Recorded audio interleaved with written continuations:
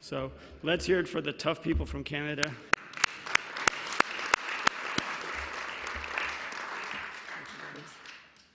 I expected to talk after lunch, but it's okay. We'll take it from here. So I suppose that's how we move it. And first of all, uh, Langdon, I'm an engineer myself, so I apologize to the audience. Um, the difference a little bit is that I'm an engineer that is fascinated by culture. Because I understand some years ago that uh, innovation is made by people, and culture is the secret source of innovation. So the way we understand culture and how to drive the people towards achieving the real results, because innovation is not about technology, innovation is about creating value. And value may come in various formats for the, for the organization. So I'll talk about measuring innovation, innovation management, and uh, I've been putting this slogan in Canada for quite a while, because Canada is second largest country in the world, it's one of the top 10 economies in the world, and we keep on beating ourselves because we are not innovating enough. Canada has tremendous resources, but doesn't have enough of these resources to take advantage of innovation. So I came with a slogan saying, innovation is a renewable, corporate and national resource to be developed, used, and commercialized for economic and social benefits. Okay, so we'll talk about measurements. So are we measuring innovation? Are we, are we measuring the corporate innovation? Are we measuring the management of the corporate innovation? And basically, from an innovator perspective, you have this simple process, linear process, it's not simple. Uh, idea generation, implemented, and then you exploit it internally or externally through commercialization. And that's one way of looking at that. You manage that as a project with the right metrics and such to move forward. But if you are a business owner, uh, business leader, an entrepreneur, you have to look at innovation management in your company, in your organization, business or, or public and such, in a multidimensional uh, context. So number one, market understanding. You are in this context. Why are you there? What do you want to do there? Who is doing what? Uh, where is it being done? To whom we do it? And when should we be doing it? And how should we be doing it? I call those the seven W questions. And the same uh, the same is applied to the resources because you create a company because you can't do things by yourself. You surround yourself by the resources, you have to organize them, you have to create the right culture in the, in the organization to move forward. Technology and the processes, even if you are not a technology company, you use technology to, to develop your services, your products, to deliver them and so on. So it's very critical for the success in the context of this market there. Then, of course, you have your portfolio of solutions that you provide to the market, and you have to look at the, at the value achievement. How do you achieve value from all those innovations and activities? And the same 7W questions apply everywhere. So the issue here is how do you measure, how do you manage, because without metrics you cannot really measure, Um, uh, manage something. How do you manage the content, the innovation at the corporate level, and I'm going to focus to a large extent on that. But we talk in the context of the ISO 56000, and ISO 56004 is the Innovation Management Assessment. It's not a standard at the moment, it's a technical report. There have been a lot of discussions, a lot of discussions and arguments and debates. Should we have a, a, a standard, even a guidance standard, that looks at uh, innovation management assessment of the management system, or are we looking at innovation management assessment in general. So in the end, we decided to go first with the technical report, and maybe in the forthcoming years, we are going to move to a, a management, uh, an assessment of the innovation management system, but it was premature given the fact that the innovation management system standard 56002 has not yet been published to come with uh, assessment methodologies for the, uh, for the system standard. And even that system standard is a guidance standard for the moment. It's not a compliance standard. There are moves afoot to start working on a compliance standard, uh, like ISO 9000, not just a guidance standard. So as a technical report, and it's an excellent technical report, I do recommend that you acquire it and, and read it. It looks at the principles for assessing management of innovation, looks at the various objectives, uh, looks at the modalities of undertaking innovation management assessment, uh, uh, what are you trying to look for, uh, how are you going to collect the data, how do you prepare the organization before you do the assessment, how do you handle the, the data from the assessment and such, and again, looking at the usefulness and so on. But it is not prescriptive. Okay, it's not even a guidance standard, it's, it's a technical report that captures a lot of the elements that may go into an innovation management assessment and points to various ways of, of doing such a thing. Okay? So for the rest of, uh, of, of, my presentation, I'm going to talk about uh, the middle stuff, how to manage corporate innovation competitively, comprehensively, and methodically with the right metrics in order to ensure value. And it's very simple, it's common sense. First of all, you have to know yourself, what works and what doesn't work in your organization. Secondly, you have to know your enemy, your competition, and how much better or worse they are than you and so on, and measure you uh, against the competition. Then you have to decide what are the right things to do in order to become better, create more value, and, and beat the competition. Fourth, you have to do those things the right way.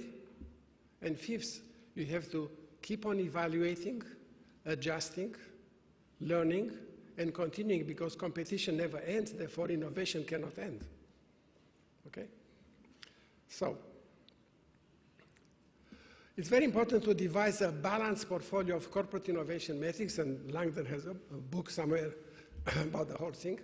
Um, and I've, I've, been using a, what I call a value-add competitive innovation management framework, which starts at the base of the pyramid with the market knowledge and the business model that defines the organization, the resources without which you cannot really achieve much in this organization, the culture and the structure of the organizations right there in the, in the pharaoh's chamber within the pyramid, and then of course the solutions that the organization is creating, their own processes, their platforms, their products and their services. And at the top of the pyramid is the value that the organization is creating in terms of uh, financial value, social value, customer value, brand value, and all that stuff.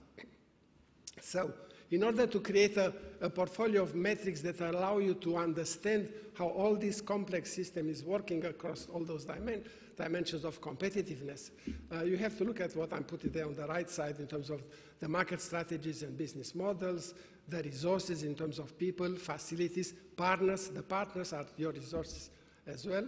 Looking at the culture of the organization, looking at the solutions that you are creating, the processes, the platforms, and the products. And of course, you measure the value outcomes. Very important, you also have to measure the innovation process itself. And that's what you talk about innovation management assessment. So you need to select competitive metrics, and we'll talk a little bit about the value of the metrics. And you'll have to look at the organizations from all perspectives possible. You can have a, a conglomerate, and you use different metrics at the conglomerate level, you have different metrics at the division or departmental level, and you have to understand the life cycle perspective, the stage at which the organization is. Is it a startup? Is one that is growing and growing fast? Is one that has, is mature or it's one that is in decline? So, uh, on that basis, this portfolio, I call it a firm innovation scorecard, and as you know, executives do not like to be bombarded by too much data. So you can think about, at the minimum, with a three composite metrics for the executive, a, a summary FISC. Number one is the innovation acuity. Are you really doing the stuff that the company or the organization really needs to be doing? It's market engagement index, and there is a percentage of the total. There is the innovation enablement. Do you have the resources and the culture are you managing those in order to become more competitive, more value uh, creative? And of course, the other one is, are you growing profitable? Uh, what is the value of the innovation that you get? And good companies, and I've seen a lot of them, we've done five years of intense studies in Canada, part of the Conference Board Center for Business Innovation, looking at innovation metrics and management across uh, entire industry in Canada across all geographies and industry sectors. And the, some of the best companies are looking at evaluations of such a firm innovation scorecard every month, putting green flags, red flags, and yellow flags, and always discussing the red and the yellow flags with decisions about why is the red or yellow there, uh, what are the potential implications, and what should they be doing in order to get back into a green situation. That's what management is all about. Now, of course, I said these are uh, composite metrics. Uh, the, the portfolio council, the innovation portfolio council, the chief innovation officer, and his or her people, they need much more detailed, much better resolution in order to understand what the issues are. And here are examples of, of uh, 10 metrics uh, bunched again with uh, specifics in terms of market knowledge, resources, specifics in terms of culture and organization, the solutions, and of course the, the outcomes of, of the whole thing. So my question to you, uh, in your companies, do you have a firm innovation scorecard? How many people have such a thing? Wow, not many, okay. And by the way, I did a number of studies of universities in Canada, and I was very shocked, they themselves were shocked by the fact that there was very little innovation activities at the university level, at the corporate university level. Um, and the other question is, how often do you analyze your firm innovation scorecard? Do you do it every month? Do you do it every six months or maybe every three years? Anyway, it's a good question to think about. I have to go forward. So one question is about how many corporate innovation metrics. There have been a number of studies of that. I did my own study in Canada and found out that in Canada, distribution was about 40% of companies had no innovation metrics at the, at the corporate level. About 6% had one, and then it was going down from there uh, or three. And I correlated that with their own assessments of how the company performed on three measures of performance. I'll show you here only one, which was the five-year cumulative annual growth rate.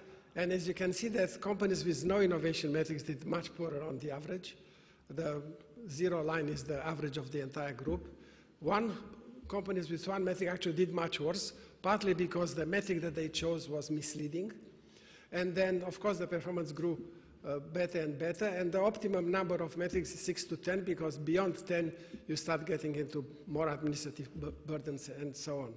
So think about how much better our industry performance could be if we can convince executives and innovation managers in companies to select 6 to 10 uh, metrics every year for the corporate innovation and evaluate them properly and move forward. And of course have the appropriate metrics. So the next aspect was um, what of the metrics were most used? And uh, here is a, just the top five metrics used in Canada. And I captured there the number of firms using that metric, part of the study, as well as what I call the, a percentage uh, performance effectiveness, which is the, the how much better on average was the performance of the companies using the metrics versus the average of all companies' performance in the study. As you can see, number one metric was customer satisfaction with new products. Number two, return on innovation investment. The performance equivalence was about 15% better or so. Then I asked myself the question, what metrics are associated with higher performance? And I started getting very interesting results. Number one was executive intensity involvement. Okay?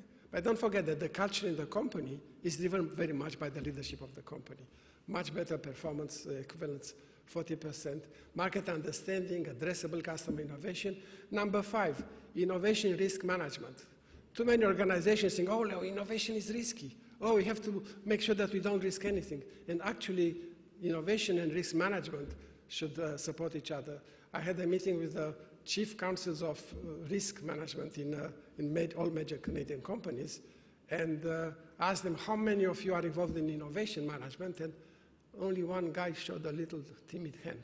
And I told them, but guys, the biggest risk to a company is that it does not innovate enough to stay competitive. Have you thought about that? Oh, no. Okay. So the metric performance effect is, is indication of the culture and the process in the company, not the value of the metric itself. Uh, here is quickly uh, top usage metric pair was customer satisfaction and new product revenue, about 20% better performance on average. But in terms of performance equivalence, executive intensity and market understanding went to about 65% better performance on average, but only 16 companies use that. Okay? There is also a, triplet here, executive accountability, market value of innovation, and market understanding, about 22 companies, 70% more on the average performance, okay? By the way, no two companies are the same. So don't use the metrics that are most significant for you for the situation, the competitive situations that you are facing. So, as I mentioned before, it's all about executives. A fish rots from the head down. This is a universal proverb. It is the leadership of an organization that drives the organization to be what it is, to act as it does, to succeed or to fail. I have not seen a company that declined and died because the workers were not good. Companies, most of them decline and die because the executives make the wrong decisions. Okay? So I suggest that, again, and to start evaluation of innovation management in a company by evaluating the executives in the company, the executive team, in order to understand how they think about innovation, how they think about the culture in the company, what kind of innovation practices, management practices they put in place. And from there, once you get them on, on your team, once they get them to understand the importance of innovation management, then you can go through all the layers of the innovation organization and, and understand how to do it. So you look at how they are aligned to the business goals and strategy. You look at their cultural understanding and their commitment to innovation. You look at their understanding of the competition, and many times, especially with SMEs, they ask them, who is your competitor? They said, I have no competitor. Said, excuse me, if you don't have a competitor, you don't exist. I mean, you don't deserve to exist and such, okay? They have, they have to, they, you assess their understanding of the innovation management practices in the, in the company, and many times executives, including the CEO, said, I have no idea about that. I don't know what metrics we use. I don't know how we are organized and such. One of the questions is, who is, the, who is responsible for innovation in the company? And you'll be surprised how many people are going all over the place. The VP of technology, the guy in development, and very few times I got the right answers. It's the CEO who is responsible for innovation in the company, the same way that the CEO is responsible for the culture in the company. The buck has to stop somewhere, and it is at the desk of the CEO. So I created a little tool just to put a little bit of advertisement there.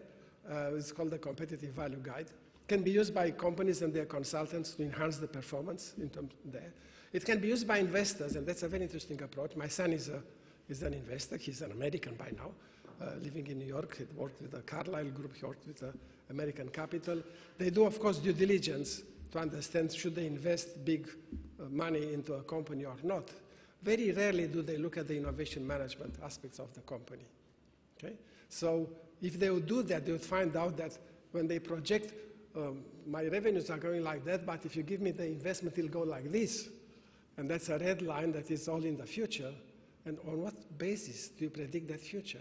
Show me that you have the system to manage that future. And very seldomly, very rarely, do investors look at the future in, in, a, in a structured way. And I'm suggesting that such innovation management assessment tools would be a great value to investment companies as well. And of course, governments put a lot of money into boosting the innovation agendas, and uh, sometimes they miss very badly. And doing such an assessment of, of industries, uh, they could find out what really is required to boost the industry in one sector or another, or in one geography or another. And uh, basically, I'm the second person that has finished before the right time. Uh, and I'm saying that uh, a company can grow, enhance its competitiveness, and avoid decline if and only if it's a mathematical statement. It diagnoses itself competitively and pursues meaningful innovation with metrics-based management methodologies. Don't forget that metrics drive behavior. Set up your manageable objectives, underline manageable objectives, give them the right resources, and put in place the right metrics, and don't worry, they are going to achieve the objectives, your objectives. Thank you.